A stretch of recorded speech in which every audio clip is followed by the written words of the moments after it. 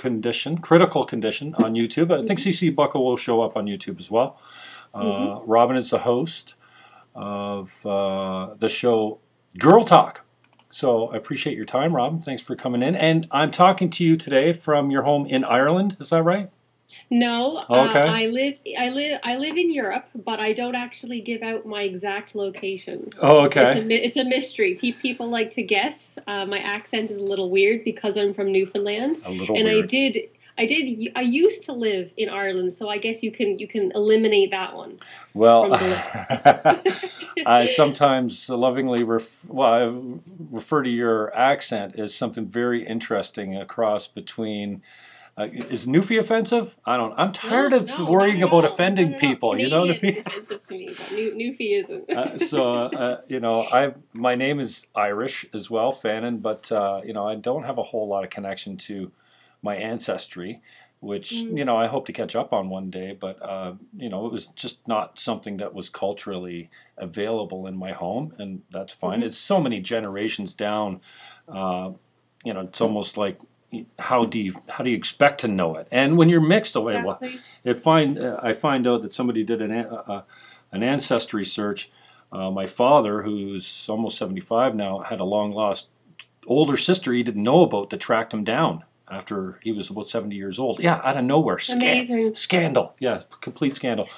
Um, and and so they did their research, and, and turns out, I mean, we always knew that we had distant cousins like Robert Goulet, but Goulet runs really deeply in my heritage, and I'm like, I had no idea I was that French, and that's not. It just doesn't sit well with me.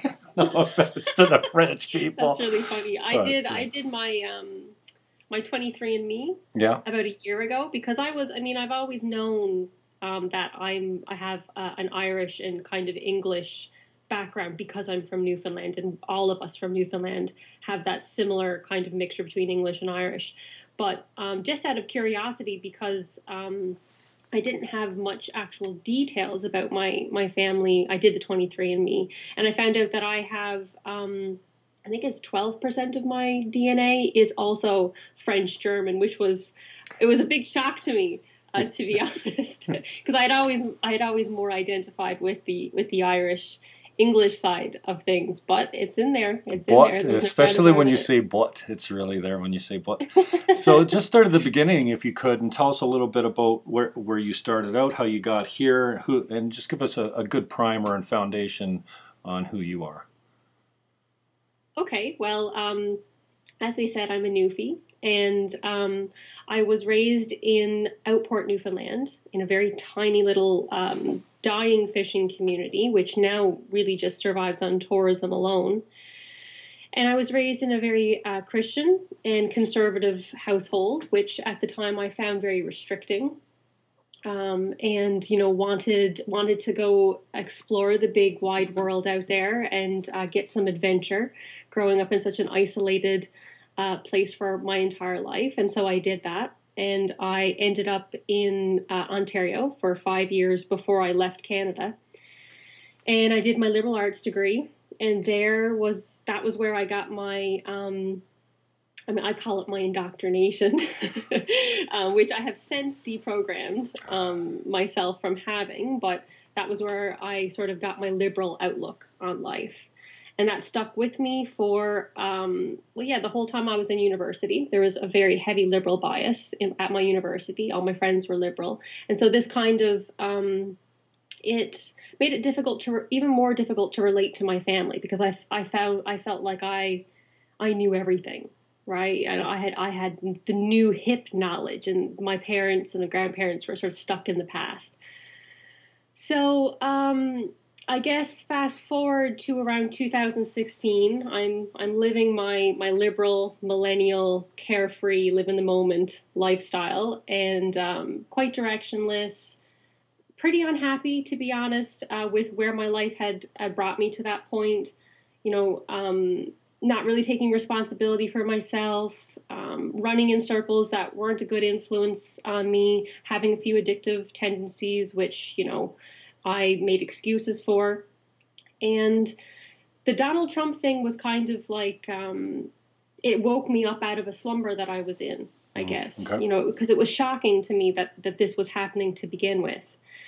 And I was surrounded by all liberals. They they really disagreed with uh, Trump, and so I obviously looked into some of the debates and stuff, and I found myself really enjoying his takes on things.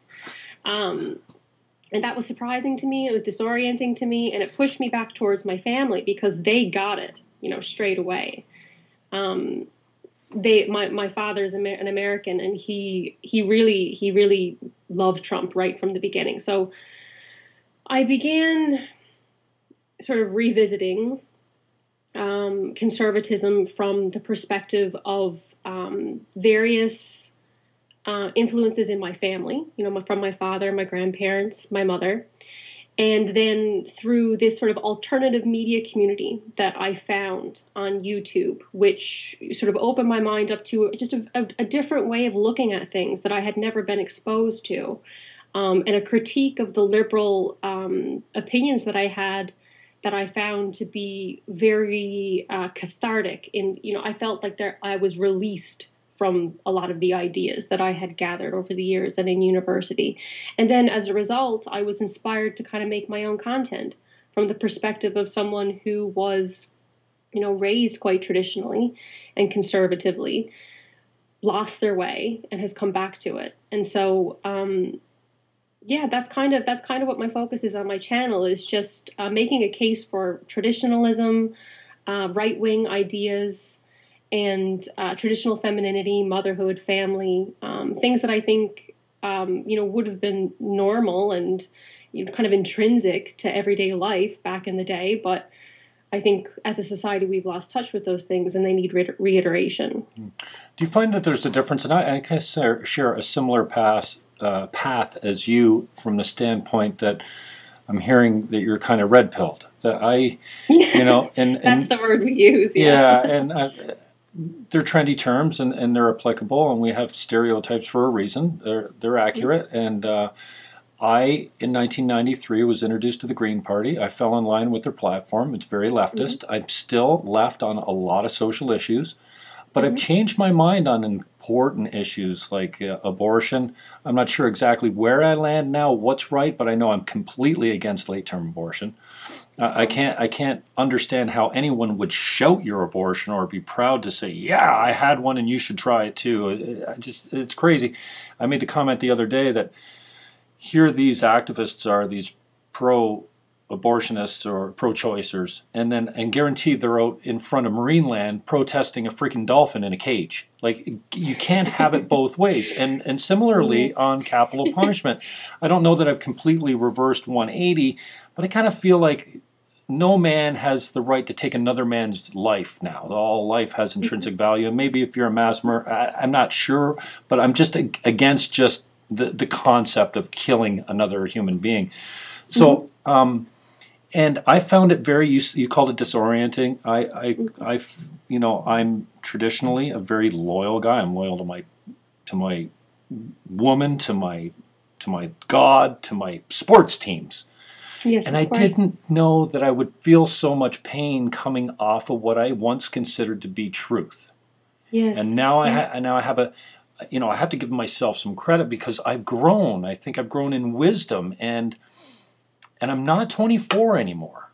and and I, I, I, say all that to ask you the question: Do you think there's a difference between someone like your father that's grown up traditionally conservative, mm-hmm. and someone like us that's grown up and I think we're born into left and right, men and women. There, you know, the big there is five. Science which says yeah. that it can be, you know, sort of hereditary. Um, hereditary. Hereditary. Yeah, no, definitely. That yeah. you're programmed in the big five. You know, if you if you yes. if you're into that kind of thing, and we can talk about your aspects and and what you kind of i mean i'm off the charts. Enthusiasm creativity like all and very low in politeness. You know what i mean? Like um, but i wonder if you see a difference or uh, logistically out there in the world a difference between the people that grew up traditionally conservative and have never changed. And i, I think there's a lot less what color is the pill when you go from conservative to liberal? I think that doesn't happen as much as the it liberals are coming right. And you know, the whole saying is, oh yeah, if you don't vote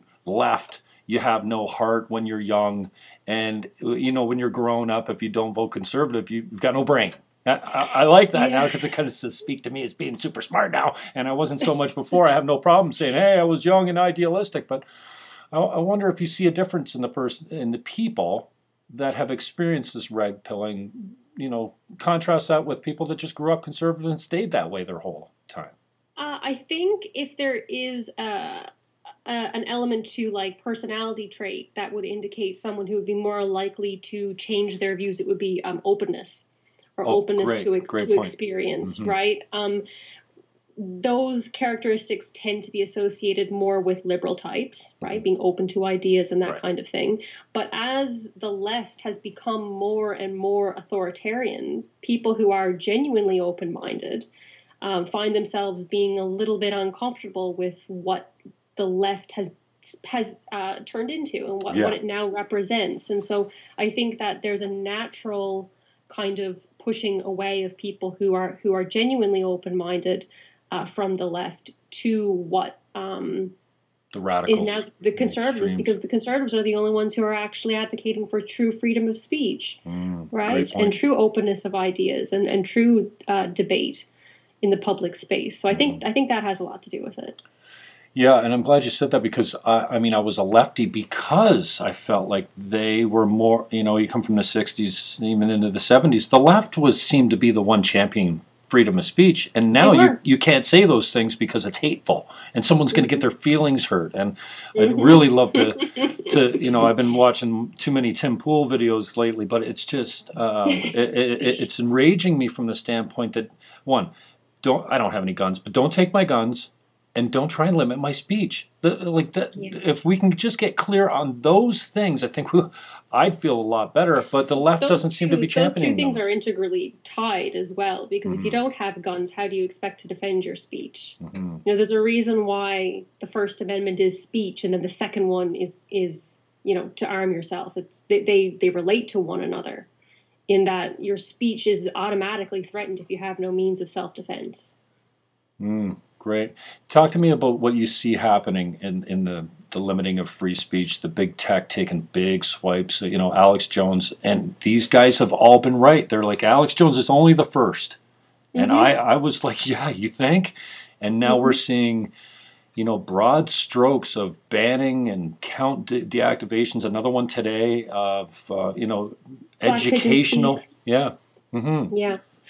Uh, I think what's really ironic about these waves of censorship is that they're done in an effort to de radicalize the digital space, right? They, they, people make the argument that, um, you know, the youths are being radicalized. We're trying to prevent random acts of violence and, and this kind of stuff. Um, uh, we need to we need to remove these these sort of hate speech uh, thought criminals from our platforms. Uh, and I, I, don't think that it's necessarily nefarious. I don't think that they're lying that they think that they're doing that. But what I think is ironic is that um, I think that this will result in more radicalization of people because when um, Jordan Peterson has a really good quote that he says, the alternative to negotiation is war.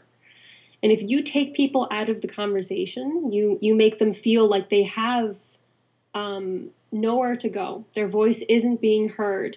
Uh, they feel like no one is representing the ideas or values that they hold dear. What do you think is going to happen to that person? They, of course, will be radicalized. Um, so I think that this is going to be. I mean, the censorship issue is going to be. Um, it's going to get much, much worse.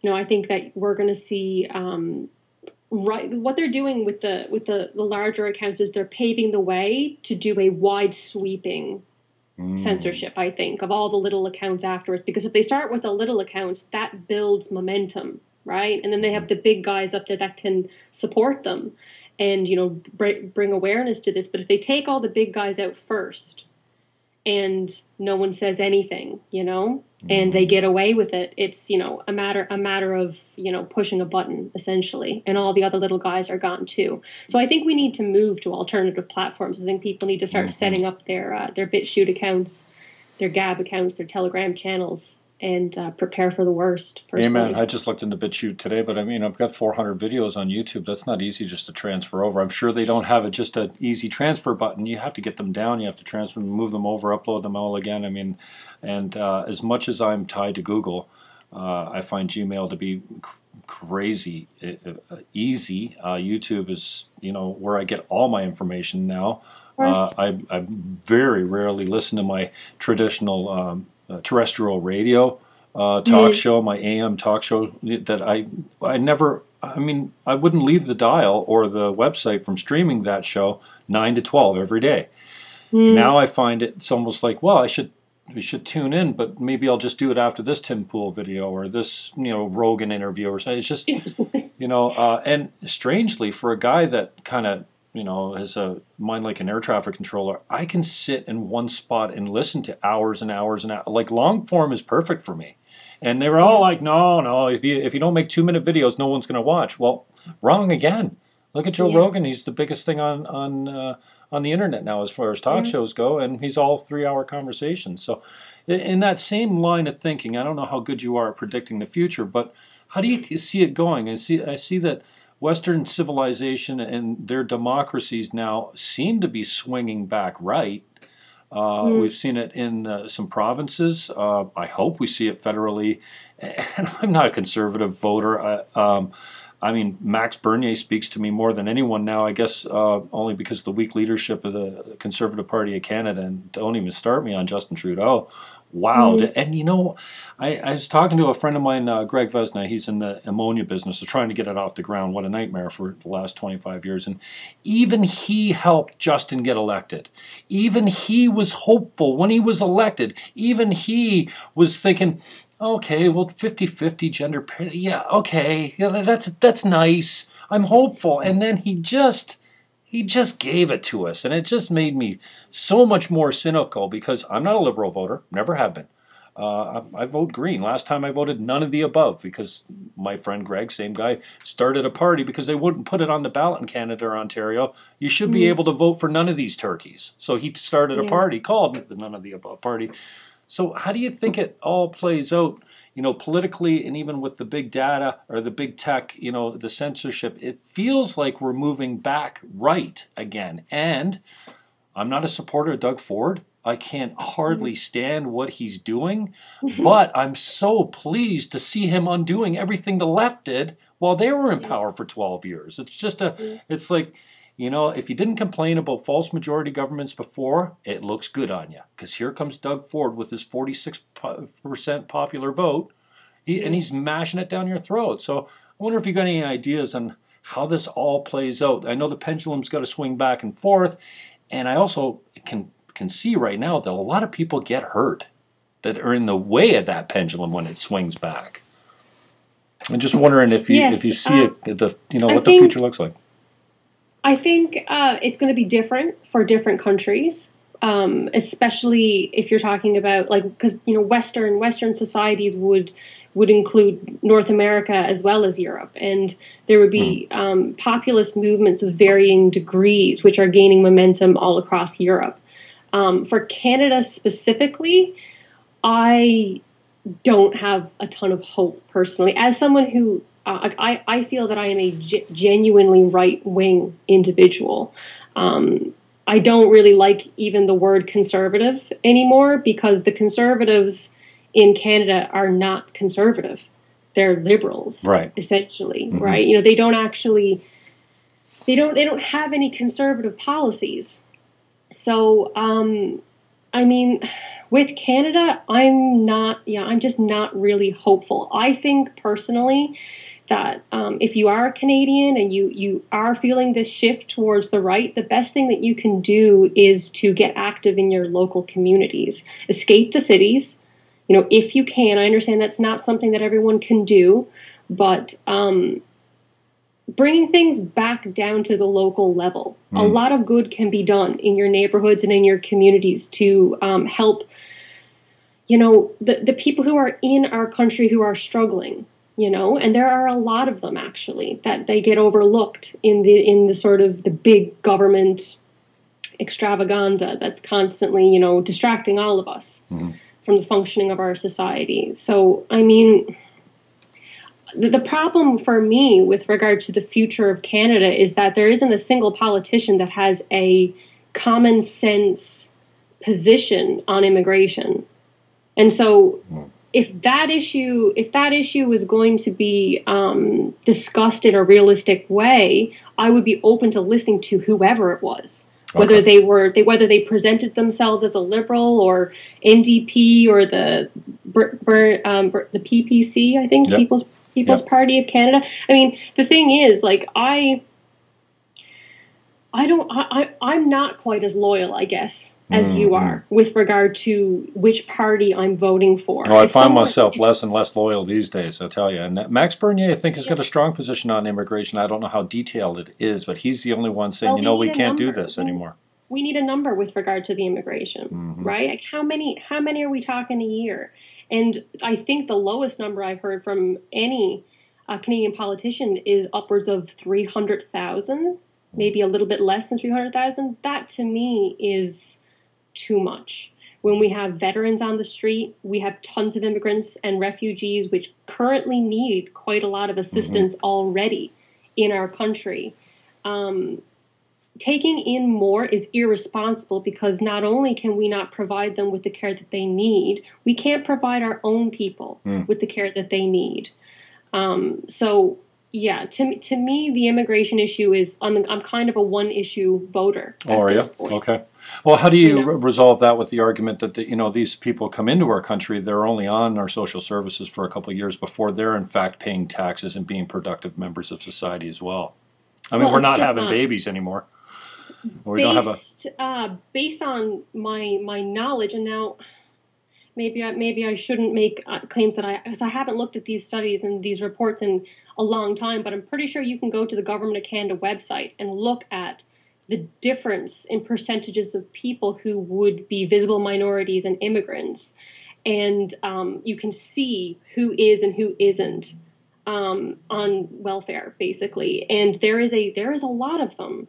Mm. There's a lot of them, and the, the thing the thing is, like, I'm I'm all for helping people in need, but that's not what the the welfare system is for.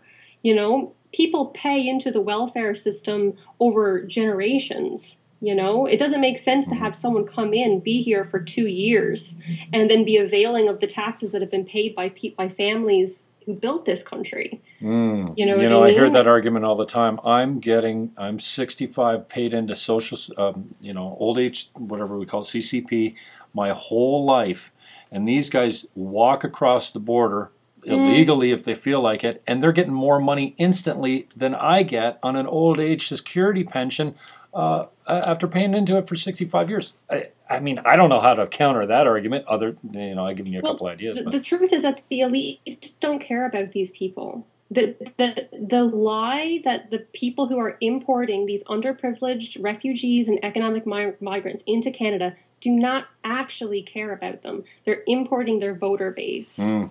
It's it's true by every metric that immigrants vote more liberal mm-hmm. um, than the uh, old stock Canadian or the original um, American demographics of the country. They always tend to well, sometimes they're quite split. Actually, I think it's it's it's been quite 50-50 among the white and European descent demographics. Um, we tend to not vote in in sort of homogenous blocks quite as often, but the immigrants they, they genuinely do tend to vote more liberal and so it's in the Liberal government's interest to import as many of them as they can so that they can secure a voting base for themselves. Mm-hmm.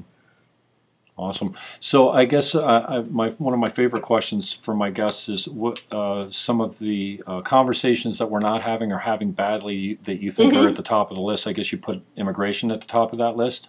Yeah, absolutely. Because I think everyone is making everyone is making kind of arguments that are most of the time it's just like I want to show how virtuous I am, you know, and that's happening on both the left and the right. And the reality is that, you know, people who are at the bottom of society, who are working class people, who are struggling to find jobs, struggling to get on their feet, are the people who are most negatively affected by um, waves and waves of mass immigration. And I don't think that our government is even remotely able to um, properly help the people that they're importing.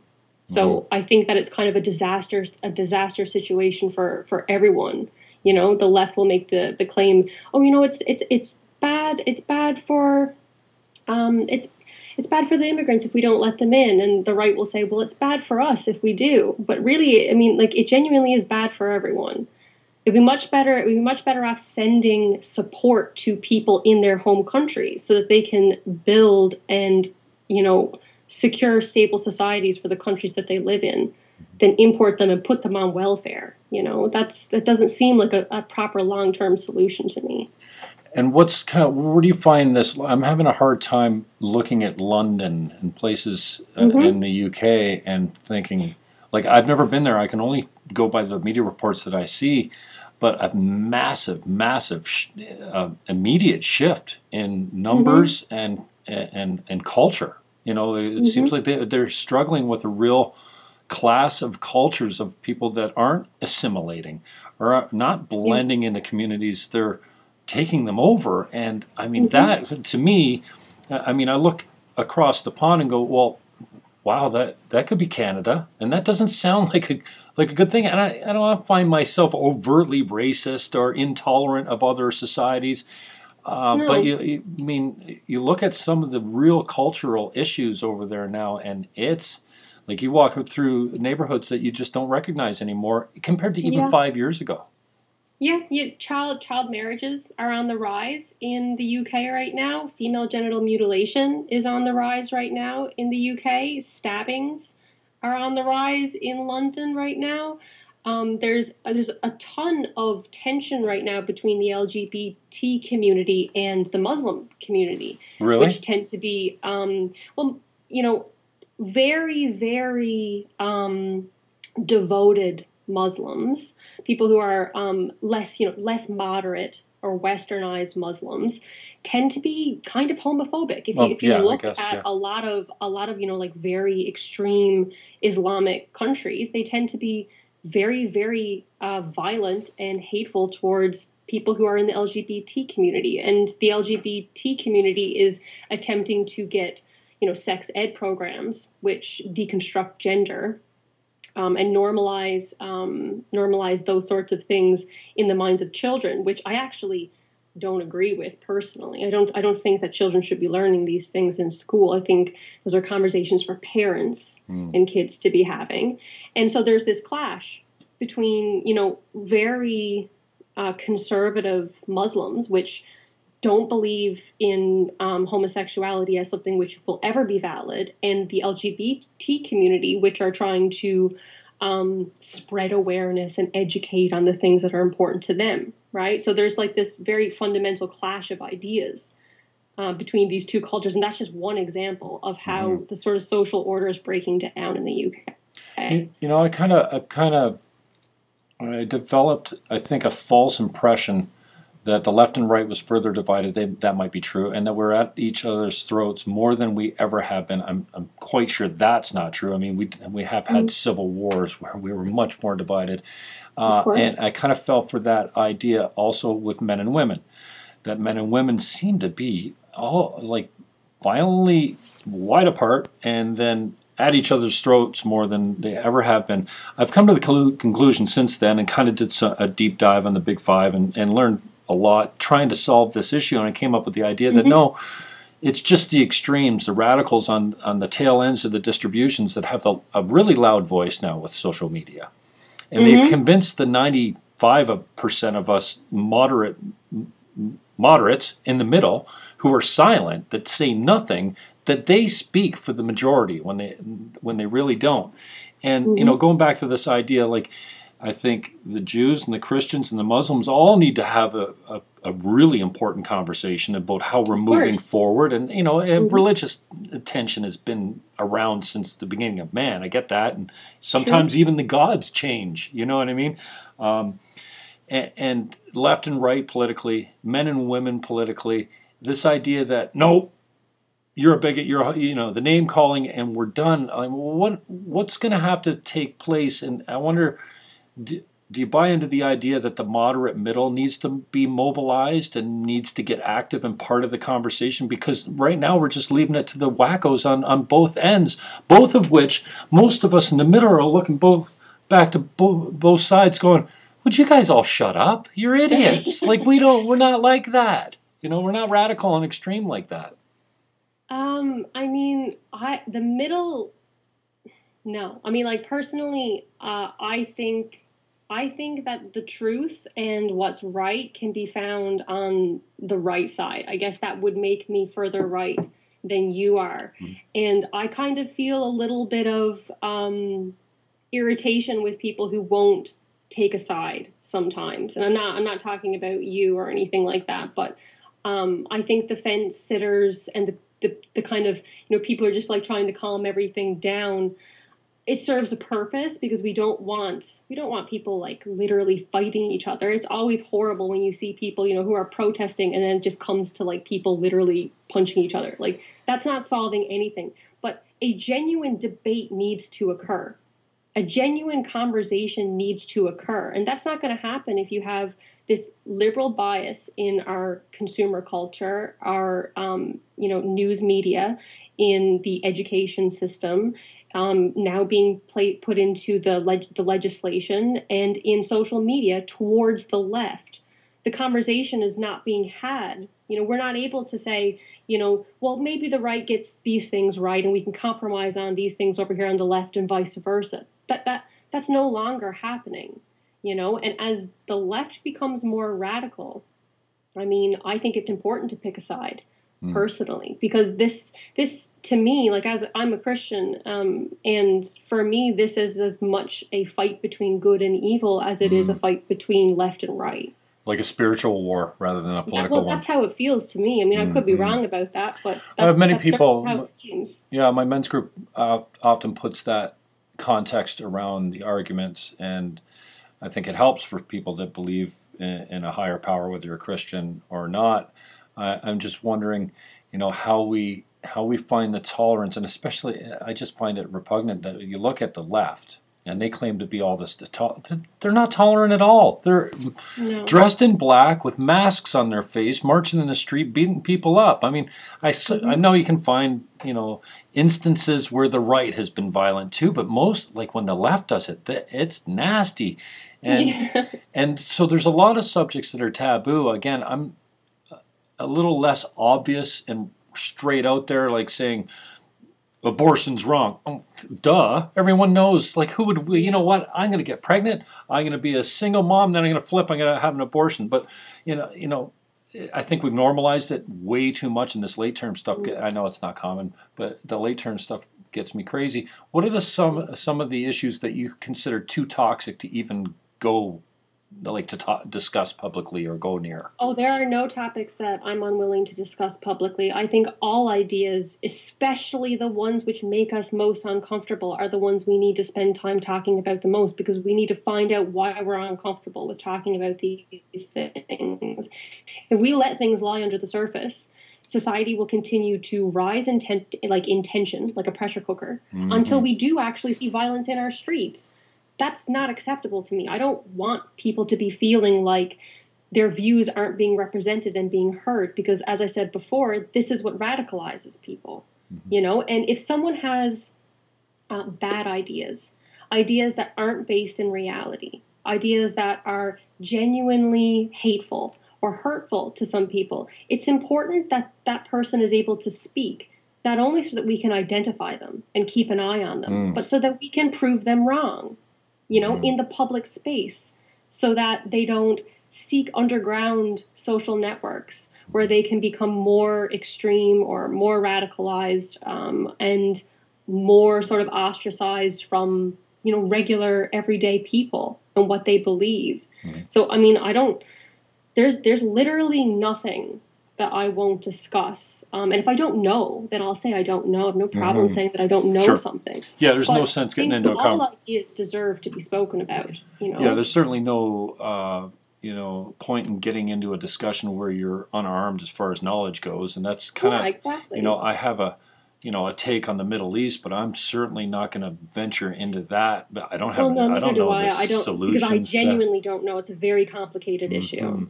And it kind of, you know, I, I I I've watched almost everything that Peterson did in his early work because I'm really interested in the psychology of of the human mind, and uh, the Big Five answered a lot of questions for me, and I very rarely see him avoid a question except on the Jewish question when it Mhm. was a very specific question. I didn't find it hateful. The guy was very respectful. He says, I appreciate your work. You've changed my life, but this, this, this, and this, and what do you got to say?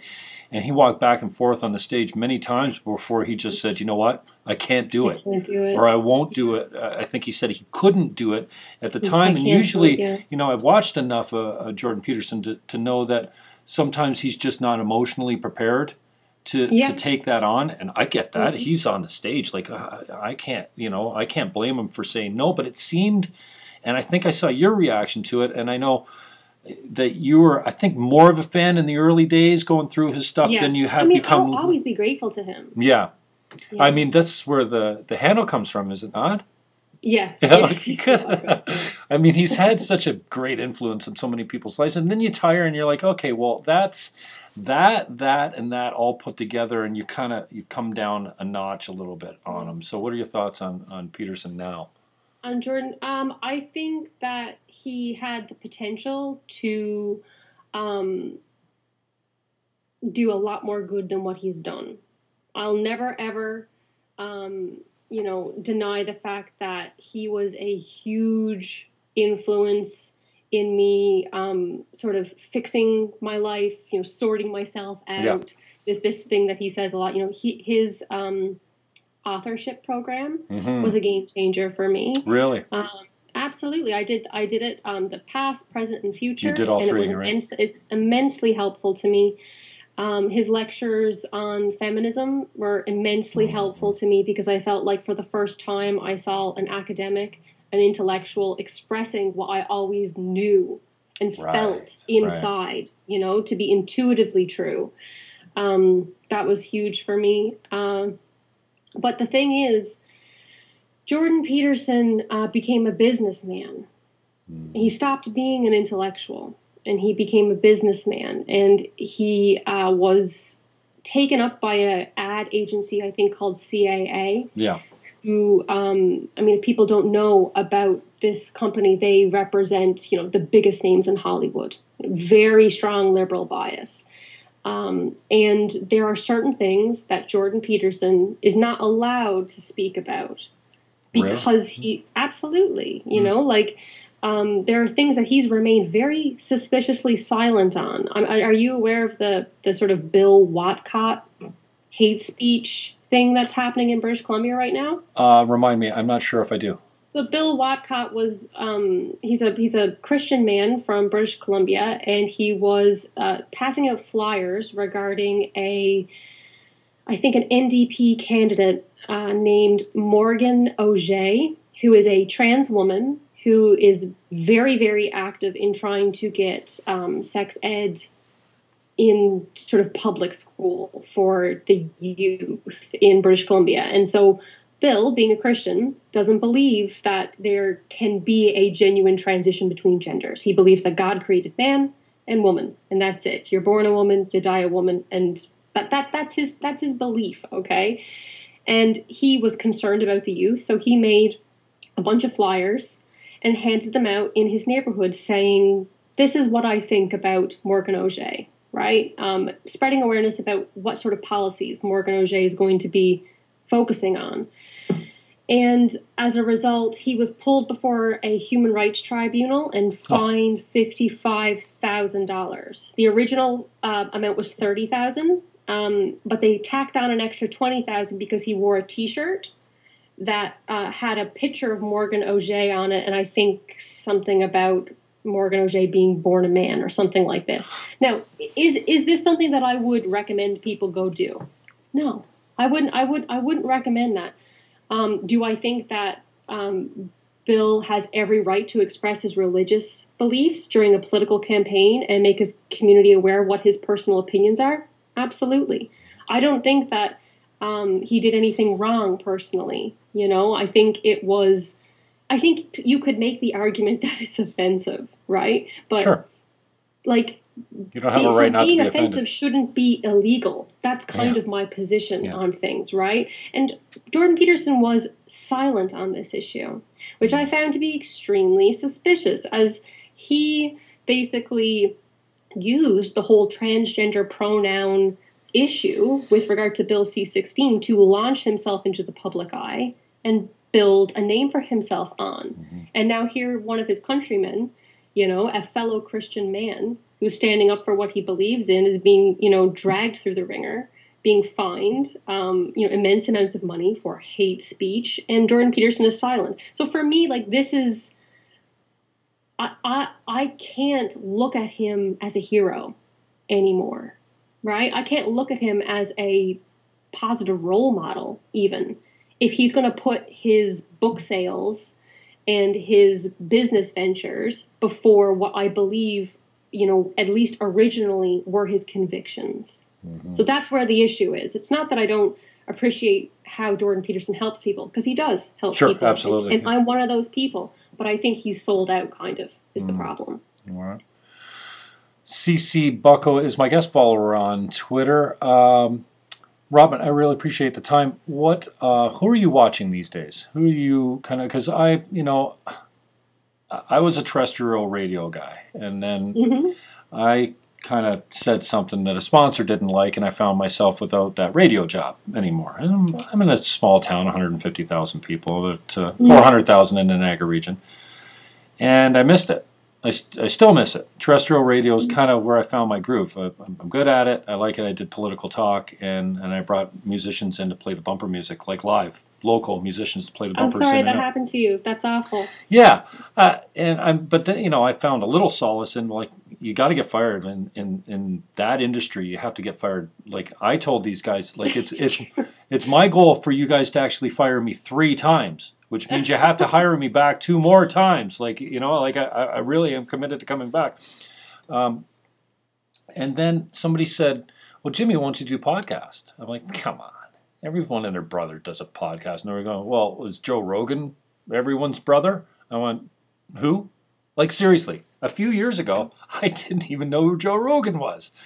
And so, you know, I got I went really deep on him. One of the first guests I had was the Iceman, um, the Swedish guy with the breathing techniques, hmm um, Wim Wim Hof, and then very soon after that, uh, uh, the guy that uh, is into Steven Kotler came up with this flow, how to get into the flow. So you got you got writer's block. Here's how you get into that mode where you're sinking every ball on the pool table. You just can't miss. And I found that interesting. And so I really went down the rabbit hole with Rogan. And then it wasn't long before Peterson came on Rogan. I wow, Yeah. what a conversation. And then I kind of slipped up. And you know who got me into this is all the who's the first conservative talk show host? Rush Limbaugh. He was the first guy Oh, that, yeah. yeah, and I hated him. I hated him, but I couldn't stop listening to him. He was on a Buffalo station here, and so I've gone down and Larry King and gone down the dial, and then Crowder, and I find myself Shapiro. I like Shapiro because he's just so objective. He really he cranks on his own party and his own people. He's really good at saying that is stupid, Trump, and here's what you should have done. Yeah. And I don't agree with him, especially on the Israel question. Obviously, he's a Jew, but you know, uh, and I had, and, and I, you know, I kind of tired of him lately. I've been going. Tim Pool's kind of speaking to me lately because he's really speaking to this big tech uh, censorship game. So, Yeah. and uh, I found myself going, hey. Crowder, I never miss a Thursday night. I love Crowder. I think he's hilarious, and I love you know I always tweet he hates Canada. He's Canadian, don't you get the you know? Uh, but I was just I was getting tired. I'm like I feel like I need something new, and then Pool came along, so I found a little bit with Tim Pool.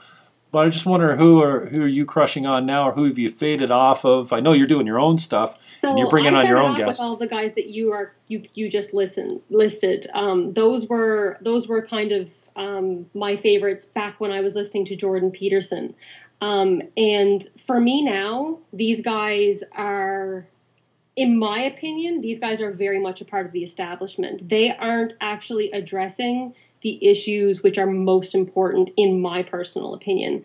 So if you're looking for people who are really sticking their neck out there, um, and you want someone who is going to t- like like really wrestle with those hard questions, I would look into the Red Elephants. Okay, I saw Um, that recently. Yeah, Red Elephants is excellent. Um, there is a gentleman named um, Dr. Edward Dutton, who is a, um, he calls himself the Jolly Heretic. He's on YouTube. He is um, a professor who has been kind of ostracized from the scientific community for exploring things about race, about IQ, about Right. gender. Um, and he, he he really doesn't care about what your opinion is of the of the findings of the studies that he does. He really is just he's, he fetishizes the truth. That's all he cares about, and so he's willing to have his reputation sort of slandered so that he can talk about the things that he's he's interested in. And I found his his work very funny um, and very interesting. So I would check out him. Um, there is a gentleman who has a channel called Black Pilled. Uh, Devon. Stack is his Okay. name. He primarily does propaganda analysis. So he takes, um, you know, old Hollywood movies as well as new movies and TV shows, and he does these very intricate breakdowns of um, the sort of social engineering and social programming that goes into propaganda and relates it to what we're experiencing today in modern life. And it's, I mean, his exposés are some of the best on YouTube, in my opinion. He's got like well over, I think he's got 200,000 subscribers right now. He's a big account, but he's shadow banned. So you won't bump into him. Oh, He's not going to be recommended to you if you're watching Steven Crowder, Crowder and Ben Shapiro. Okay. he's Wow. more he's more edgy. Um, uh, who else is really good? I mean, I personally I like to watch a lot of women lately because I'm doing my Girl Talk series. If there are any ladies watching who are like you know right wing or you're a mom or you're into traditional femininity, uh, Brave the World is an excellent YouTube channel. Um, Lacey Lynn is a traditional um, Christian woman who's homeschooling, does lots of uh, videos about that.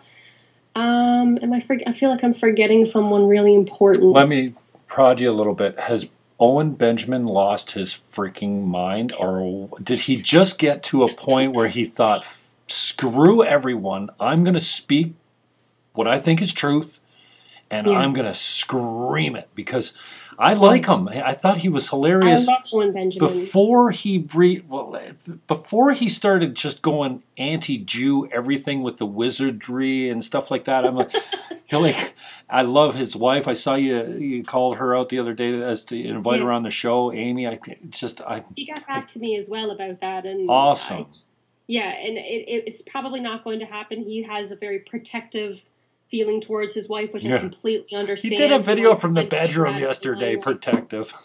but she is just an angel. Well. I see. This is a sweetheart. I see that there's um, a there's a guy that can has that much courage to stand up. He has a solid foundation with his relationship. Like you, Oh, absolutely. you know, you can you know there's a really strong woman behind a man that will stand like that and see some of the. I mean, lately some of the stuff he's coming out with. I'm still watching him less than I used to, but I'm just wondering, have you lost? But he quit drinking. I think he was, you know, He quit drinking because he was getting drunk on the respect. podcast a little bit, you know, and um, yeah, I I'm just want. hesitant. I'm hesitant to um, entertain the people who say that he's crazy. I think crazy, calling someone crazy is dismissive. Mm, You know, you, you don't know what a person is going through behind the scenes. Um, imagine, imagine, you know, you are like he was like just a normie, regular guy.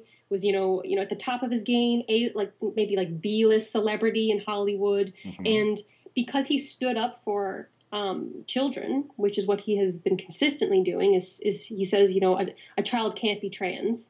Um, he was dropped from his agency, which is CAA, Right. the same company which represents Jordan Peterson right Mhm. now, and he lost everything, right? Um, he has.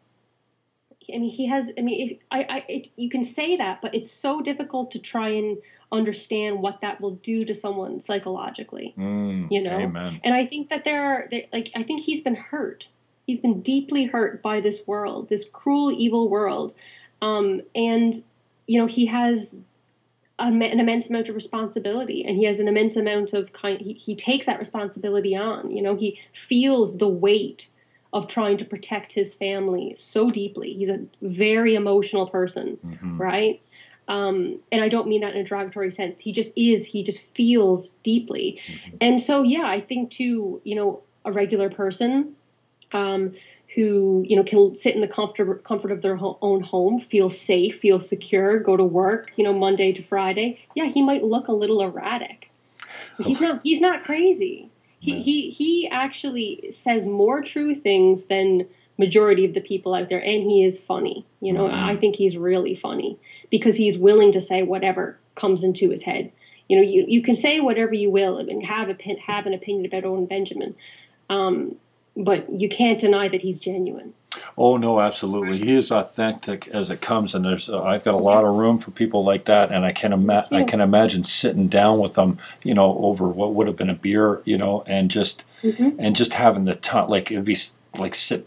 I don't. Know, I'm not comparing the two, but I'd love to have a beer with Alex Jones. I think he's wildly entertaining and intelligent, and just his brain is like it's it's. I don't know how it fits in his head, and yeah, he is a little bit on the on the extremes on some of the stuff. They're turning the frogs gay. I know they always use that as a, you know, trem, uh, uh, chemtrails and all that kind of stuff. I think he'd be great to sit down and have a conversation with. And yes, he is triggering for some people. You know, I was with a couple of my Green Party friends a couple of years ago. In 06, I marched in the Pride Parade. Now they're talking about straight pride parade, and the left is melting down. I am ha- I'm happy I'm heterosexual. I love my woman. I mean, there's nothing.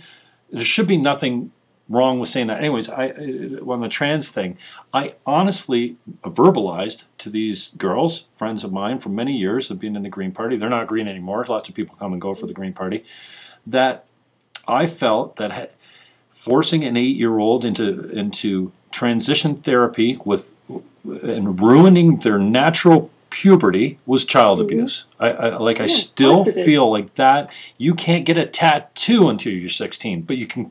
You can change your part. Like I just. You can sterilize yourself. Yeah, and they told they were like, I said, child abuse. They're like, easy, Fannon, easy. Like, don't lose your mind. I still feel that way, and I wonder how these tolerant lefties can get behind something that seems so dangerous, especially when you look at the, the rate of desisting.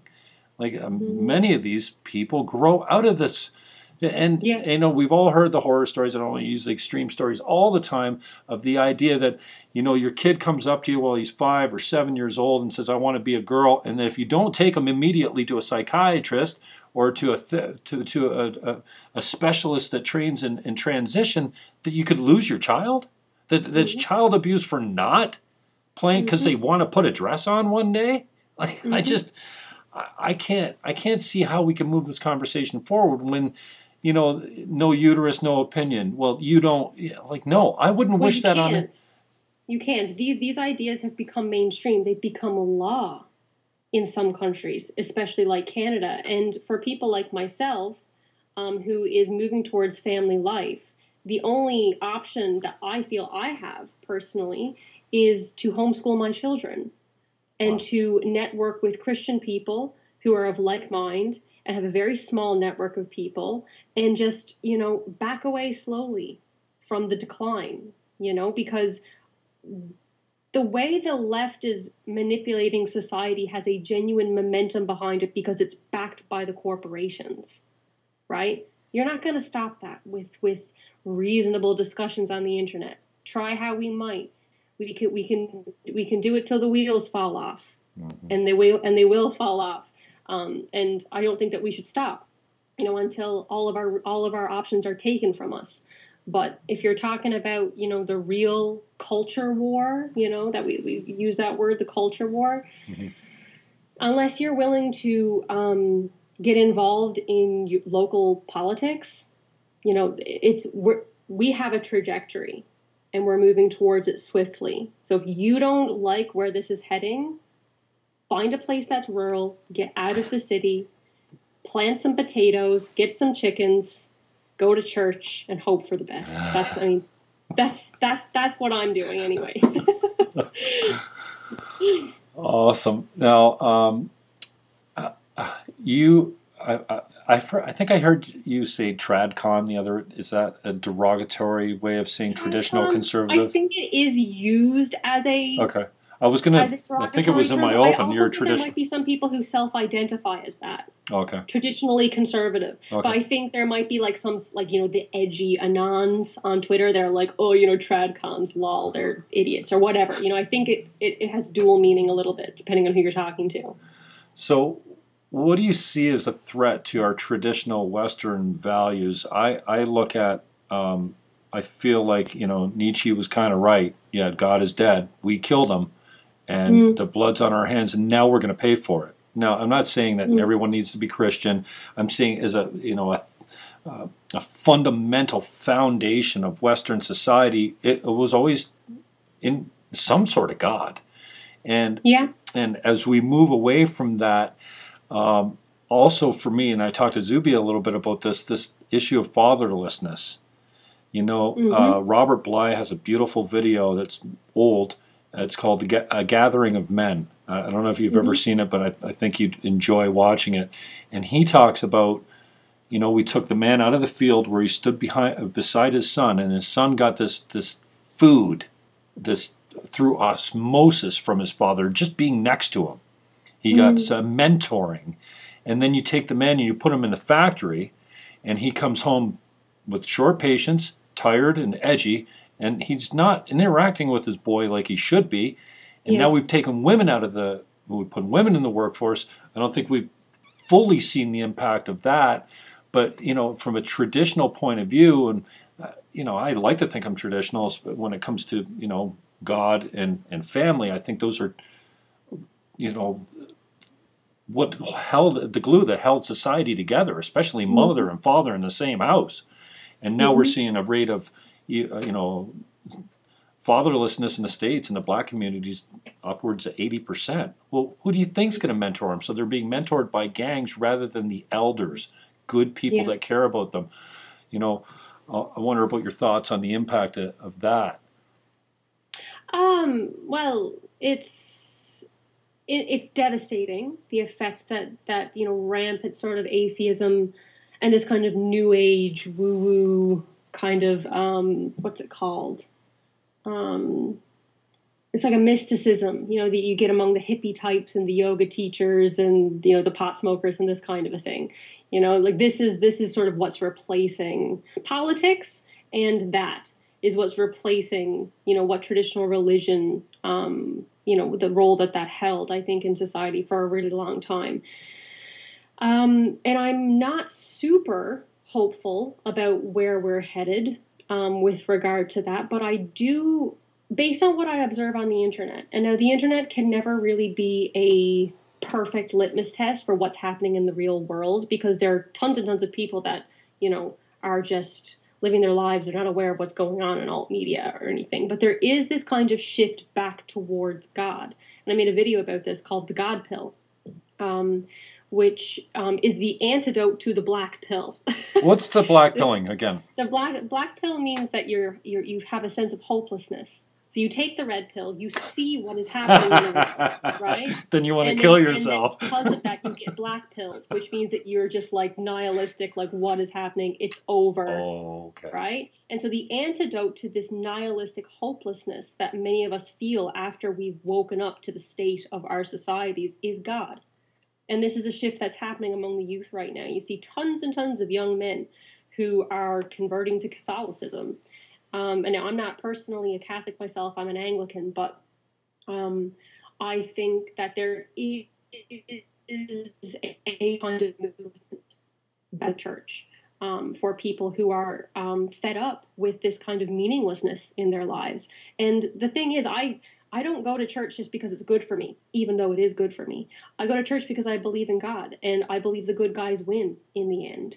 And so I think that there will be a drawback to the church in God's time. I think it's a part of God's plan to, you know, have the like because there is a play to existence, you know, and I think that in order to really establish the meaning of the church and how valuable it is to us as a society and as individuals, we need to be reminded of what happens when we lose touch with that. You know? And so the world the world is the devil's playground. Um, and it maybe will be for another couple hundred years. We don't know, right? Mhm. Th- This this war between good and evil between traditionalism and modernism has been going on for a very long time, and it will probably outlive all of us. Um, but it's important that we do our part. We don't give up hope.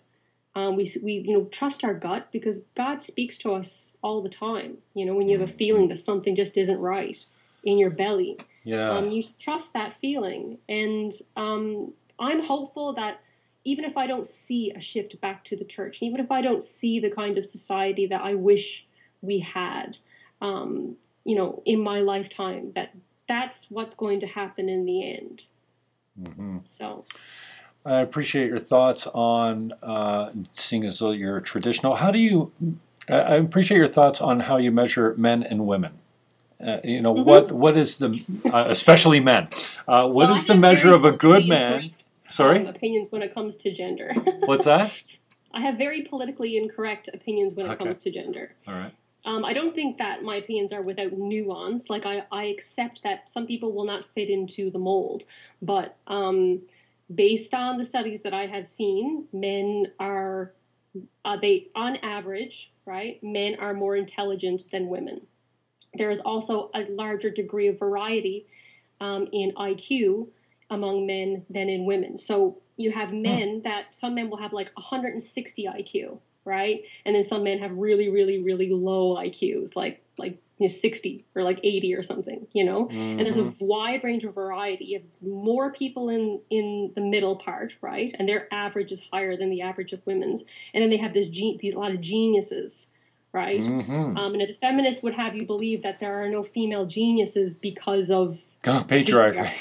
right? No, that is no, that's not true. It's a it's a biology thing, right? Yeah, it's a Um, drive women thing. on Yeah. average tend to not have as much variation on the ends of the bell curve, right? And we're more we're more huddled towards the middle, Hmm. and our average is lower than men, right? So there's that biological difference between men and women, which I mean, when you're talking about brains and intelligence, there is a lot of debate going on, you know, even in the scientific community about whether these things can be trusted and whether or not IQ is a valid form of measurement for uh, um, intelligence and this kind of stuff. But I do think that more so, um, our bodies, our physicality is just obviously different, right? Our endocrine systems are different. Everything about us, in terms of how we think, our strength abilities, our hormone levels, our reproductive uh, roles, they're different, right? We are different. And the men have an, an advantage. They tend to be smarter, they tend to be stronger. They don't have to carry babies inside their bodies for nine nine months and give birth to them, which can be very traumatic. Take care of them Uh, for 15 years. And feed it exactly. Mhm. Like yeah, it's it's it's not fair, ladies. Okay, like I know it seems it seems like you know God has it out for us and He's picking on us, and we got the short end of the stick. But it is what it is. Accept your role with grace and dignity. Do it with your head held high. You know, there's there's no shame in carrying burden. It's what makes women so so strong and so emotionally open and available. Um, we have our own strengths, right? You know, we are deeply empathetic creatures. Um, we're deeply intuitive creatures. We're deeply social creatures. Um, we're deeply nurturing creatures. All things that men don't really have as much skill in. And if you want to play the game of what's, you know, the more important Yeah. area of expertise, that's just relevant to me. You know, I think we are complementary Absolutely. um, in many ways, and the differences we should accept and just get over get over it. Yeah, it sucks. You know, if you don't want to have a baby, there are immense amount of options. You know, I, over to modern I'm glad you said you don't have to do that gestational work if you don't. Yeah, but I mean, women are designed to have babies, and they think like they were designed to have babies. Men, uh, I think, are just you know, I think uh, being in a, in a in a loyal, committed relationship. I think men were designed to impregnate everyone around them. You know, I think it's it's uh you know almost a construct of society that oh this is how we do. I don't think we're like geese. You mate once Yeah. and you're together forever. You're just locked in this happy matrimony. It takes a lot of work to be loyal to your woman to to not Yes. think oh well down to this green grass over there. I didn't see that before. So uh, I I just interested in your your idea of measurement the character? Like, wh- what do you look for in men and women? Like, what do you put highest on the list? Is integrity, obviously, communication. I don't know. Where would you, when you're Um, when you're like if I was going to be like talking about like a, a mate or a friend. yeah, first So- that, and then also on the other side for women. Yeah. Okay, so if um if I'm looking for a mate personally because I want a traditional setup where I can be a mom because I want that, you know, shock, shock horror. I want to be a mom. um, I want to be a stay-at-home mom. I want to be um, a homeschooling mom. So I need a man who is a provider, who wants to provide, who's not going to feel resentment because he is providing for me. I want a man who takes uh, pride in that ability to look after his wife and his children and let her fulfill the domestic role to the best of her ability. Um, that's number one. That's before looks. That's before intelligence. That's before anything. You know, wanting the same things in life, whatever they happen to be, is kind of essential. Um, if you're if you want a harmonious relationship, if you don't want a family life, Right. then you know make sure you're you're with a guy who also doesn't want family life, Right, right? right. So there needs to be that kind of uh, future oriented um, analysis. Do you want the same things? Can you m- move forward hand in hand towards the things that you both want? Um, also, I think um, um, this is something that you really only find out about a man with time, but um, you know, aggression and testosterone levels um, can predict whether or not someone is going to be a violent individual or not, right? And so you want to know how a man fights, right? Um, does he play fair? Mm. Is he going to get violent? Is he willing to listen to you? Um, is he going to, um, you know, dismiss everything that you're saying because you're just a woman, right? There's this there's this stereotype I think that right wing and masculine men um, that they they hate women and they think they're all stupid and they just don't listen to them. It's not true. Um, there's a great degree of respect. And you see that you see that like very easily when you watch um, like Owen Benjamin interact with his wife. He Wow. honors her, right? Oh, so you yeah. want a man who's going to honor you um, and accept his role as the head of the household. Um, and for me personally, he has to be a Christian. Um, you can tell a lot about a person whether or not they're going to go to church with you. And um, for me, it's like it's like this safety net because it's not like he would just be betraying me if he were to cheat on me or to lie to me or to steal from me or to hurt me. He would be betraying his God, which is far deeper punishment. And I think that you know to to both to both of you be in the relationship and to be honoring each other and to be honoring God simultaneously generally provides for a very harmonious and happy relationship. Um, I think for men, um, if you're looking for a woman who you want to be your wife, um, shyness can be a good indicator of, um, you know, not being the kind of girl who engages in promis- promiscuous sexual relations with like lots and lots of men. You know, like a girl who sleeps with you on the first date. Like, sorry to let you know, but she's if she sleeps with you on the first date, she has done it before. She, you know, she probably will do it again. So if you want, if you want a girl who um, is, you know, has self-respect, carries herself with dignity, how she interacts with you will give her a lot of information, give you a lot of information about how she interacts with with other men and has interacted with other men. And it's kind of it's kind of similar. Like, is she going to respect you? Is she going to honor you and, and um, appeal to your authority in the household? You know, Mm. or is she going to be bossing you around all of the time and expecting like this everything equal, always equal? Well, you know, Mm. I, I did this chore, this chore, this chore, and you only did this chore and this chore. You know, keeping tabs. This is a very womanly thing that women do Mm. it's not it's not you know women and feminists have this sort of competitive feeling i think between themselves and their men. Um, and this can translate into uh, the, re- the relationship. Men don't want um, a woman who's going to compete with you right? They want a man who's going to compliment you. Um, so also like does she cook? Is she one of these women who's like i don't cook and then thinks, thinks that's like a personality trait Yeah, yeah. It's like, I'm always like, late. no. Well, not with me or not. Um, my my battery's quite low. Do, uh, do you want to keep talking for a bit longer? Because I might just plug my my computer in just in case. Uh, yeah, we can wrap up. How much you got? Uh, I think. Yeah, I need I need to plug it in. It says it's going Okay. to go to sleep if I don't plug it in. Let me just Okay. grab my No problem. my charger one Okay, second. no problem.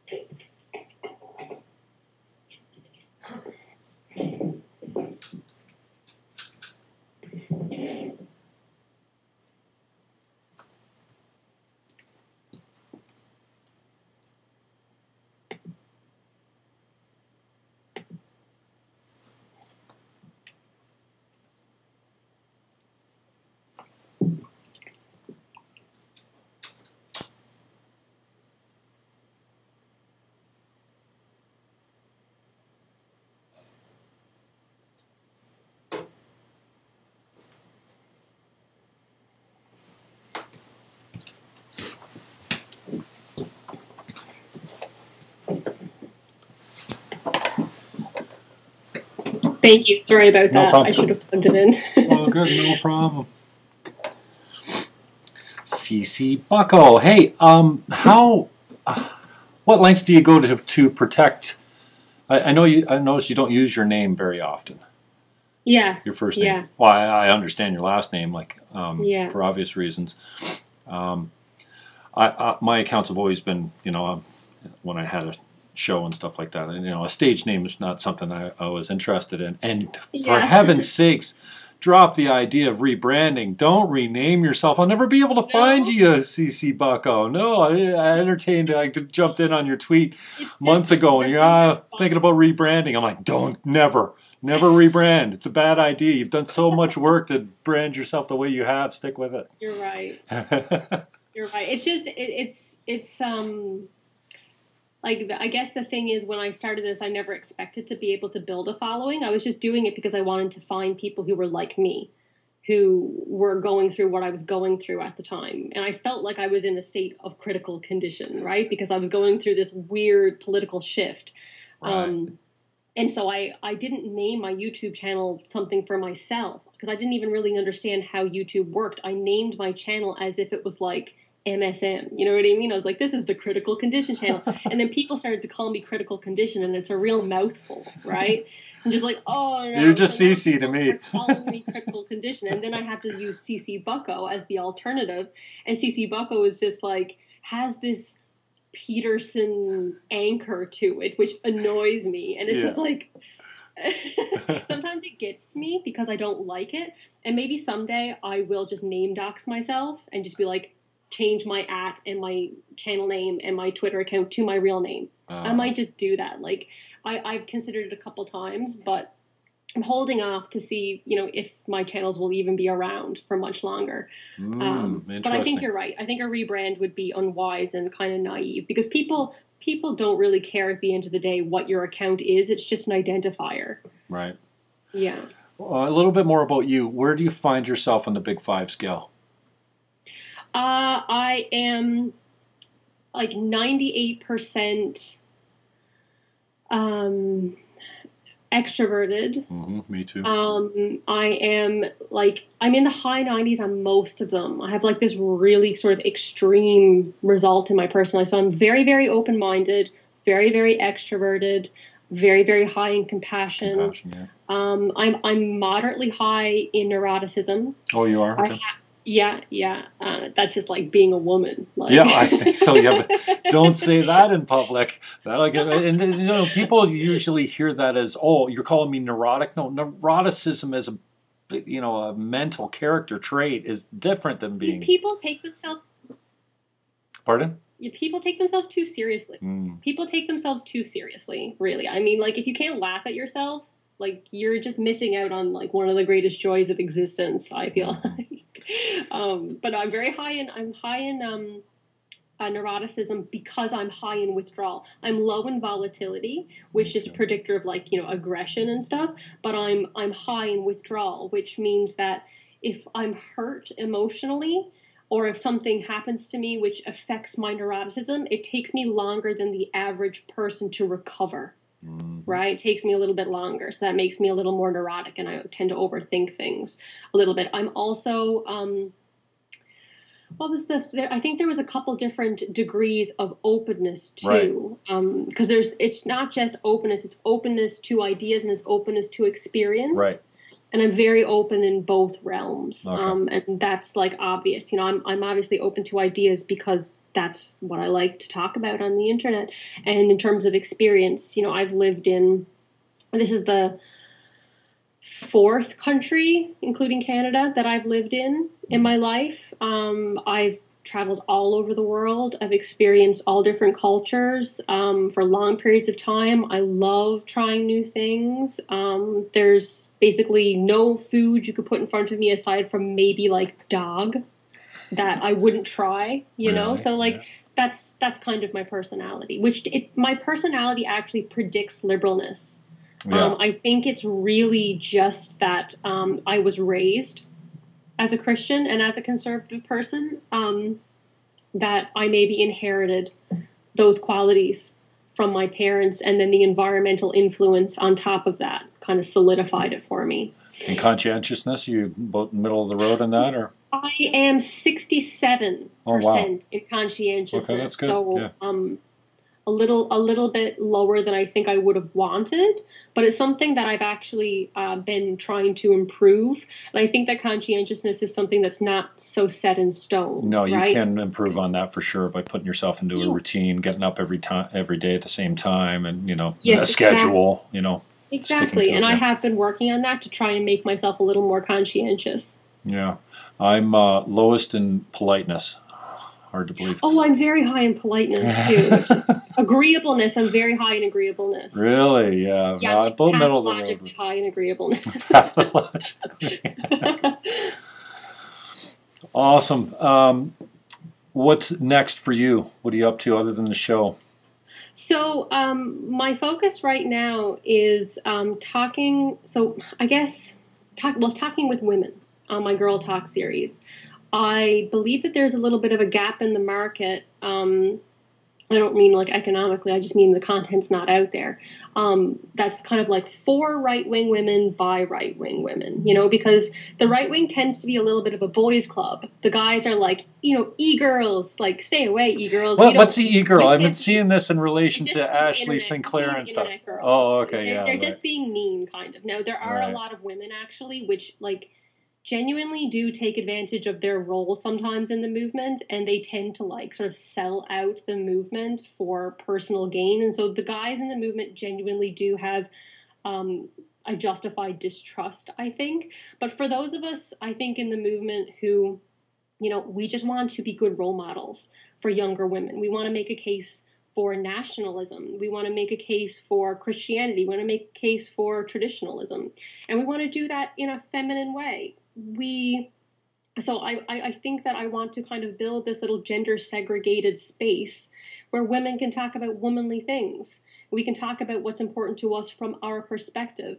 And then the you know the guys don't have to feel like we're stepping on their toes or you know getting involved in these sort of political leadership positions, which I don't really think women tend to thrive in anyway, which I know is another shock horror uh, opinion that I have about women. Wow. They don't really do great in political uh, positions of leadership. That's just my opinion. And so. So we should just force them there with quotas and make sure that they're represented because it's all about your genitalia. Come on. Yeah, yeah, exactly. yeah, we, we need more estrogen in the political sphere. Said no one ever. I mean, um, the idea is is sound as far as you know i used to fall into this camp if we had a little bit more compassion in politics i.e the feminine influence then the world would be a better place. But you i mean you can't force people into careers and jobs that they're just not cut out for and that's okay. You know like i, I don't hear the women come and say you know there's too many women in nursing we need to get you equal the playing field. We need more male influence than no one ever, you know. And yeah. it's kind of. Well, what you don't want your government like. See, this is my problem. Is that like I understand where you're coming from, and I think it comes from a place of uh, genuine caring and good heartedness, that you want to look after people. But that's not what the government is for. That's not what politics is for. Politics is about like securing the infrastructure of your society, protecting the borders, providing for like a secure economy. You want to like build your society up in a way and have a strong moral leader so that people can look after themselves right? Now, there'll always be some people that fall through the cracks, and we can provide services to help those people no problem. But when the focus of politics becomes just about compassion and not about protection, um, I think you get this kind of tyrannical, um, matriarchal, um, almost suicidal element to the way that governance uh, occurs. And I think it undermines people's ability to uh, be responsible for themselves and look after themselves um, mm. and feel empowered by overcoming whatever struggles that they may face they may face in their lives.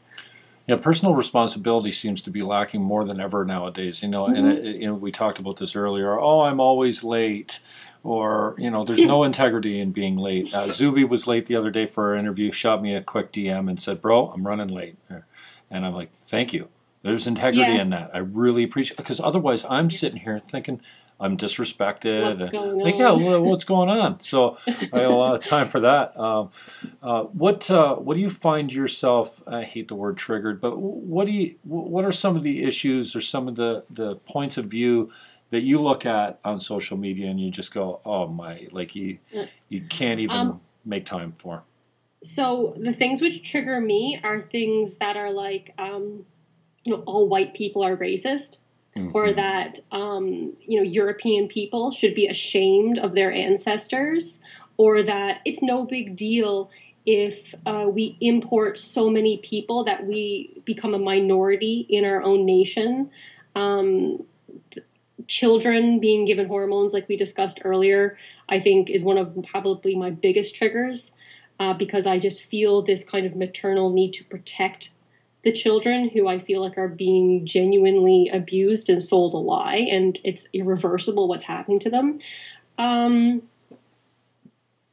I think those are those are like the top four things, you know. Mm-hmm. Um, like being a Newfoundlander, I have a very strong sense of um, like national identity and ethnic identity, which is distinct. To, it's like it's it belongs to me. It belongs to my family and um, the people who are from Newfoundland and of Newfoundland. Mm-hmm. I don't think anyone, just anyone, can be a Newfoundlander. You know, we are a distinct people, and I think that it would be a, a, a big shame if Newfoundland became downtown Toronto. I'm sorry to say. Mm-hmm. I think downtown Toronto has its place in the world. No one's trying to take downtown Toronto away from anyone, but we don't want the whole world to look like downtown Toronto, you know? And I think that um, for the people out there who say, you know, uh, you know, anyone can be Swedish, anyone can be British, anyone can be German. I just think it's not true, and I think it's it's it undermines the ethnic identities of European people. And I hate that. It makes me really upset mm-hmm. when I hear that because I would I wouldn't I wouldn't say that like, you know, it's it would be awesome if a bunch of foreigners went into South Korea, for example, and overwhelmed that population and changed the culture forever. That would be devastating loss to the world to lose that distinct culture. Why can't we afford that same compassion to European people? Why does why is Europe the only place on earth that has to endure multiculturalism and the death of their, you know, original ways of life. Because we wouldn't push it on any other place. The left would never push it on Africa or South America or Asia. But it does seem to be okay to do it when it comes to Europe. And that really upsets me because it's just like a blatant contradiction. Mm-hmm. What do you take the most guff for out there on social media when you take a stand on something? what do you get the most blowback from? Um, I troll a lot with. Thanks um, for saying that. I just yeah. I stepped into the troll pool. You know, I've been getting better at it because there's a there's a there's a real technique to trolling, and if if you don't know what trolling means, I guess that's just you make uh, a statement that's designed to provoke a reaction, a predictable reaction from the other side. And yeah. I kind of troll, not that she's, I'm not trolling her personally, but AOC I find to be mm-hmm. uh, a caricature um, more than anything. And you know, uh, there's a space for everyone in politics, but uh, this leftist madness has got me crazy. So I trolled her the other day, and it happened to be on the Jon Stewart video that she quote tweeted. And I just, and this is not original. I thought it was original at one point, but I had to go back into Twitter and search the term, this mm-hmm. Alexandria occasionally coherent thing. and that's all I said. Tell us, please tell us more. And I, I put the, that name down and spelled occasionally wrong with two S's. Wow. I think my I think my ratio is still okay because I've got 210 likes versus 150 or 60 hate comments on you know take the yeah. Canadian flag out of your shut up you know, uh, this was this was this is why nobody wants to f you. Uh, d- d- don't let your mother know you're an incel. Like it's just, and I'm proud of myself because, you know, it's it hurts a little bit more when my neighbor, the guy I like, goes on my Twitter account and likes a post that says you're a complete idiot. Because because I like yeah. my neighbor, but these people I have no idea who they are. I'm like, yeah. ooh, and the interaction, like I don't have a channel even close to, to yours, either There's on YouTube or Twitter. Honor in being ratioed, um, to be honest. You know, you because like I, I, know what you mean, like how it, it, you kind of get this sense of relief if more people support what you say than mm-hmm. you get a reaction out of. But if you're genuinely trolling and you genuinely don't give a hoot you know what happens. And you're just like planting this seed and then backing away from the chaos. You want to be ratioed because if you get ratioed that means that you've you upset your... tons and tons and tons and tons of people. I like to just like drop a little um all uh, women, women are property and then mute the conversation. All women should submit to their husbands and then i did appreciate both of like those tweets very i did appreciate both those tweets very much and it's amazing because as you're getting ratioed, uh, I've never had, and again, I, my channel and my Twitter account are near the size of yours, and I know there's much bigger ones than yours and uh, stuff out yeah. there, but uh, at, for the first time, my you know they're like, don't at me. But Now I get it because for almost well a good 48 hours, it didn't stop. Every time I lo- it was 20 notifications, 20 notifications. That's why I mute. Yeah. Oh, because it can be a little bit like I, don't really care what you have to say. I just wanted to have some fun. But then with this this simple trolling and having fun, I, the, I've never had so many people come and check out my profile. I know they're yes. coming. You know, the profile clicks are like, I mean, through. I've never seen anything like it on my channel. Like usually you get, you know, one percent. This was like that's why trolling pays. it brings awareness to you because there were 250 people. i I'd say that probably between 30 and 40% of the people that liked your tweet were probably people that were new to your account. And then maybe 20% of those people may have followed you as a result. So it's worth it. Like it actually, in terms of like the mm. economics of follows, yeah. it's worth it to like die on a hill for a good troll. Yeah, I very rarely get that. And I actually, uh, a couple weeks ago, I was considering maybe they deleted that uh, anal- from the analytics because I very rarely ever see anyone that followed me from this tweet you know, or follow okay, me from this okay. reply, I think would work as well. Um, mm. But you, are right. There's ways to go. You can like everyone that you know, or add everyone that liked your post. And I, am fascinated yes. by social media, and I'm honestly, uh, you know, I've given up on Facebook. I think it's passe. Even uh, Facebook, sorry.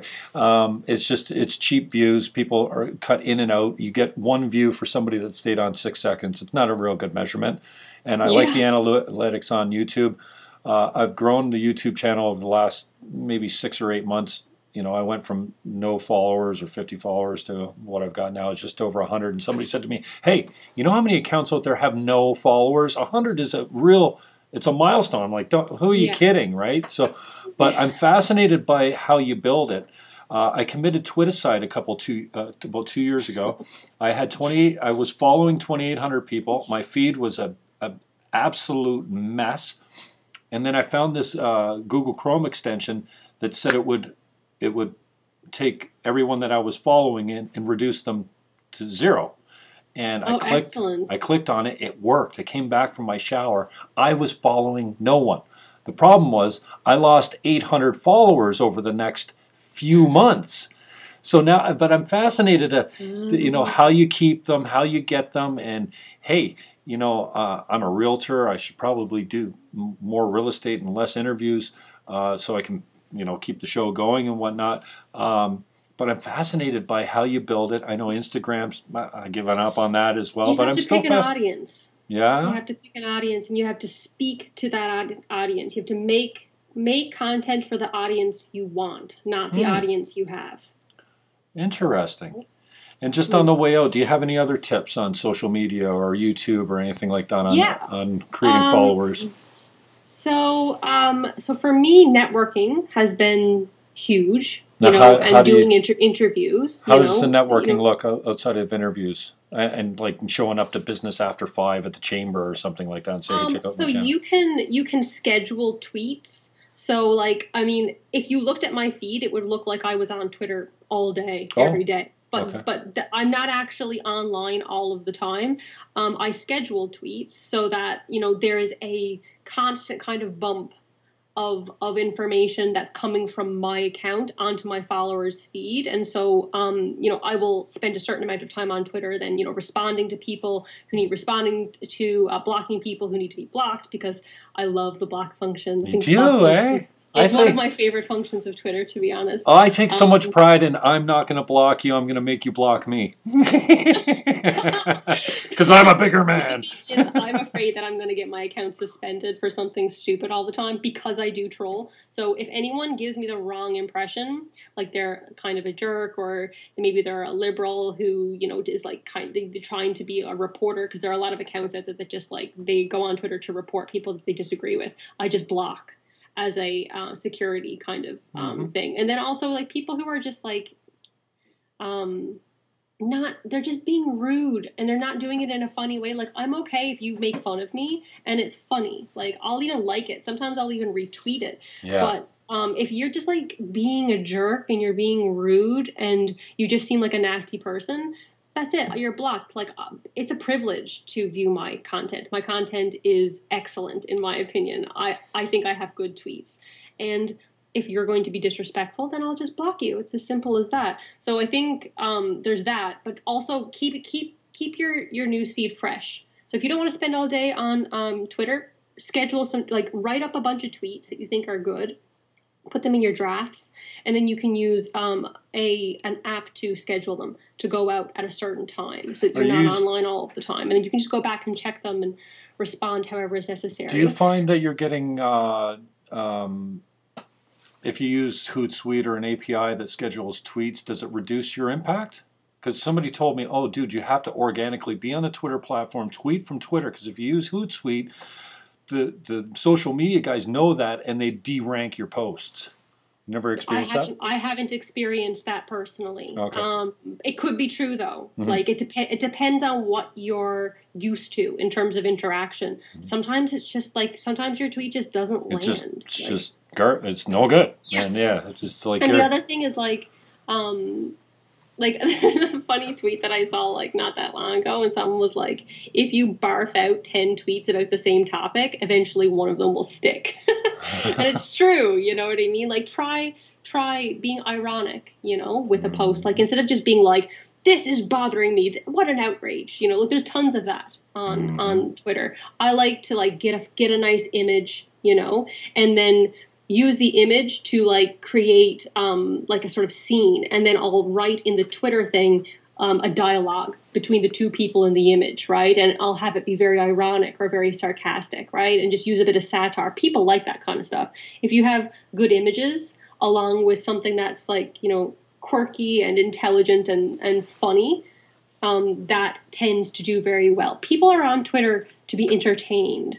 They're not there to be finger wagged at, right? So Mm. keep it light, keep it funny. Try don't lose your sense of humor. Like Mhm. people don't people don't go on social media to like um well, I guess some people go on social media to learn things, right? It's good to spread information that's um, useful to you, but it can be a dark place, social media. And I Mm. think that some of the accounts that are the best that I like to follow are ones that keep their sense of humor and they entertain me and they, they make me think differently about uh, things that, you know, everyone might be talking about, but they all have the same take, you know?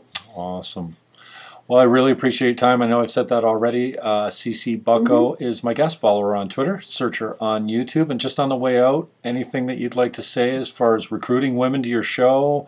What are you looking Yeah. for? Uh, I know that uh, if I choose to identify as a woman tomorrow, like Zuby did with the deadlift, I'm, I probably won't get picked up on your show. I'd love to be on your show. Maybe may- maybe your show goes away from girl talk. No, Uh, we're, we're TERFs. TERF. Speaking of TERFs, uh, Meghan Murphy, I, I don't know. She's I, I interviewed her uh, about a year ago, I think, and I, I've been trying to stay up with what she's up to. But she's the first one that said TERF. I had no idea what a TERF was, but.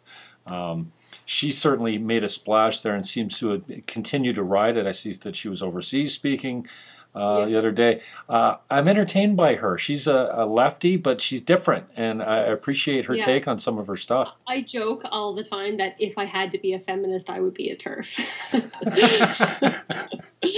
no, you don't. You, am I right? You that you don't see? I always identified as a feminist, but now I think it's much much less needed. I, I used to think that Oh, You know, feminism this- has done serious damage to women and to Mm. society. No, feminism is bad, okay? Like, I, I'm sick of this, like, you know, oh, feminism is good um, as long as it's just about uh, work equality or just about um, the, the vote. No, it's not good.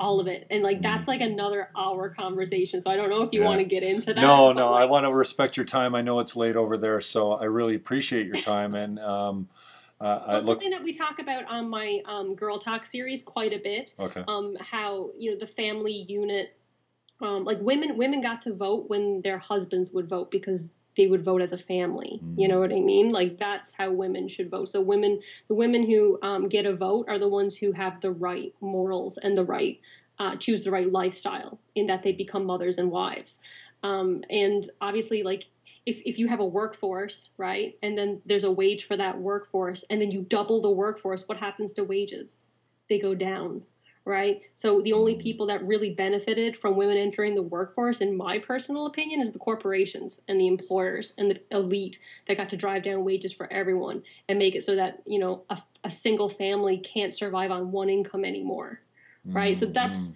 we talk about these sorts of things um, all the time on my Girl Talk series from the fem- female perspective. If you're a Canadian woman or a Christian woman or just a feminine woman and you're sick of the um, mainstream you know pop feminism perspective and you just want some fresh ideas um, check out my girl talk series because i interview not just right-wing women but sometimes um, you know centrist women and um, women who wouldn't necessarily consider themselves nationalists some women do consider themselves nationalists i think i have a nice variety of That's a tough one to broach these days. The nationalist, uh, you know, the Mm. I know Faith Goldy comes out with this quite a lot. I know she takes a Yeah. lot of heat for saying, you know what, my culture is sure important does. to me, and uh, her Christian views and all that. And, and this idea that you know, I, I once had a lefty, an NDP candidate uh, here, who's now a city councilor. Uh, he just moved to make uh, tampons free in city uh, uh, facilities. Um, he and, and there was a, an incident where the pro-life people were on the corner. I don't know if you've seen this, but in my community, the pro-lifers come out and they carry these graphic images of aborted babies, yeah i don't like that and and uh, you know I don't like that either. It makes me you know it, it just destroys me inside. Um, Yeah. Even though uh, I'm kind of on their side, abortion's a really bad thing and it's taken way too lightly. Um, Mm. So, but the, the there was an incident. A man approached these people and kicked over, like, kicked their signs and booted and broke all their signs up. Well, that's assault, right? Yeah. So I'm in stand favor. for property too I stand for free speech far more than I stand for anything else. So if these guys want to bring their signs out, they have all the right to do that. Do I agree with it? It's probably not the tactic I would take. And I spoke out, and my now councilor told me that if I if I put I said, oh, so free speech over assault for me, because Mm. you know I, I don't think he should have assaulted. That's a crime. They weren't committing a crime, and he labeled me a woman hater because because because I'm because I'm not because I'm not fond of abortion, and I'm like he like this is where the it always breaks down for me. You know, like you can't. Think about how twisted that is. That's so twisted, though. Like, Mhm. think about the logic of that. That you have to support um, women's like the the business enterprise of wi- of women having abortions um, to be in support of women. That's just the most like demonic thing Mm. in the entire world. Like it's not the thing. The thing about abortion is that um, I do like. I think both sides kind of get some things right and some things wrong. Yeah, their you know? extreme arguments on both sides are ridiculous. I would There agree really with are, and there are some circumstances where I think that an, an early term abortion, which is not paid for by the government, I think women should be responsible for paying for their own abortions.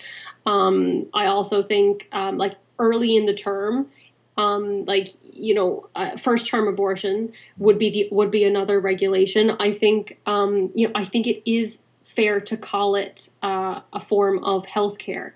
You know, if the child is going to have severe disabilities, is going to be living in suffering for its entire life, right? Mm. Some women are saints and they say, I'm willing to make that child's life as, you know, comfortable as possible for as long as possible. I'm taking that burden on. You know, let them do that. But if there are women out there who who believe that um, bringing a child into this world uh, so they can look after it while it's living and suffering is not the best option for their family. They should be able to take that option, I think, as long as they're responsible about it and they do it early in the term and they pay for it themselves. Um, there's also the element of like ectopic pregnancies, which are life threatening. Um, these uh, these pregnancies they they get sort of stuck in the fallopian tube, and if the baby develops there, the woman can be made infertile.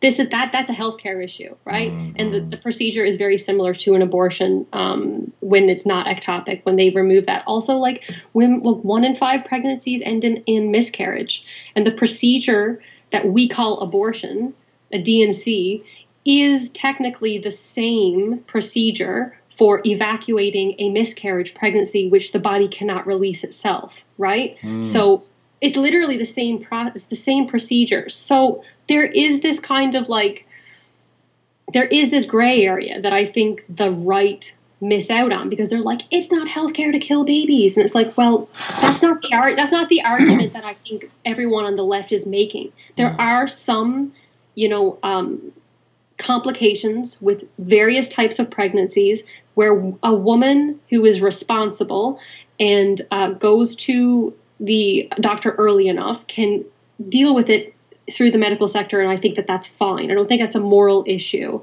Um, what I don't like is this, like you said, the shout your abortion. I'm proud of my abortion. I can have as many abortions as I want. And My no first abortion was my favorite one. Yeah, like this kind of stuff. Like that I should have had an honestly- abortion. that harms women those because people like think? women who have abortions majority of them actually do um, they i think a lot maybe not majority i shouldn't speak without knowing this uh, for sure because i don't know it for sure but i would imagine that there are women out there who have abortions and they struggle deeply Mm, right? Because it's it's not something that i think is an enjoyable experience. No. and by minimizing the severity and the trauma of something like going through an abortion you um, you you sort of neglect um, the psychological aftermath of having an abortion, which would shame a woman into seeking help if she wanted to get help because she was dealing with depression or shame or guilt as a result of doing it. The the, the, the solution isn't destigmatizing abortion, No. right? It's giving that woman health care and having a real conversation about you know the trauma and how heartbreaking and devastating having an abortion probably is.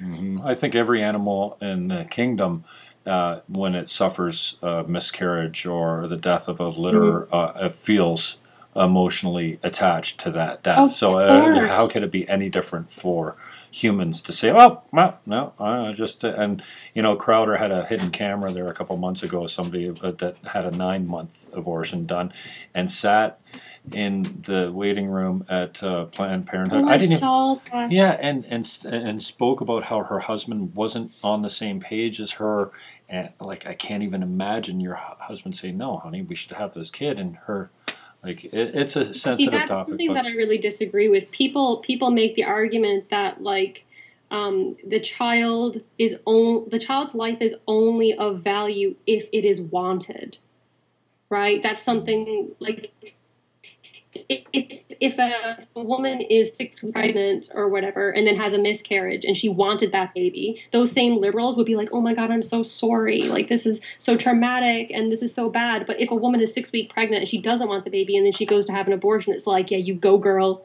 get it done." You know, like so. There's this kind of there's this inconsistency with um, terms I think on the left that drives the right crazy and rightfully so. Um, but you know I don't know. It's it's such a complicated it's such a complicated topic. Mhm. Um, yeah. it's really hard to navigate, and I get a lot of flack because I'm Mhm. a Christian, and I try to find where the middle ground is um, for the benefit of women on this issue, right? And it's not fun, you know, but uh, it's not a fun topic. But you know, it is definitely probably like when you were talking about how conversations were having badly. Mhm. That is number one. No, maybe immigration is number one, and then that's number two. Right. Right. Uh, Robin, I love you. I'm proud of you, and I really appreciate your work. I think you got a great sense of humor. I I sense a great strength within you, uh, and I, I really you. give you props for that. You're one of my favorite accounts on Twitter. On the way out, you could have any woman on Girl Talk, any woman. Who are you? Who are you gunning for now? That's still alive and available to come on the show, like somebody that you would really, Um. Okay. So actually, other than just- Amy okay, so, Benjamin. so one girl that I really want that I haven't secured is uh Soph, and she's not really a woman. She's like a 14 year old girl who's kind of like. Have you heard of this? No. This person, Soph. So Uh, I'll I'll DM you a link Okay. um, of her content because it's extremely edgy. But she's like 14 years old, and so she has the left in this tailspin. Right? really, is she she's just this- conservative? Uh, it's a, she's a comedian. Oh, she's okay. an entertainer. So she says things that are edgy, right? She says things that are like very, like, they'll catch you off guard because she's just this little tiny 14 year old girl. Cool, cool. Um, and she's being attacked by grown men who are journalists in the mainstream media. So I want, I want to, I would love to talk to her, but I haven't made contact with her yet. Someone who I really want to have contact that I just have made contact with that you can watch out for is Lindsay Shepherd. She's going to be on my uh, my my podcast in the next couple weeks, which I'm really excited about. You tell her I said hello. I've been chasing her as well. I know she just had a baby, but you know what? If you don't want to come on the show, just say I don't want to do your show. Don't give me all kinds of. Excuses. I'm still going to chase her, Lindsay. I love you too. Uh, what a champion she has been for uh, Yes. you know just what seemed uh, maybe I got it all wrong.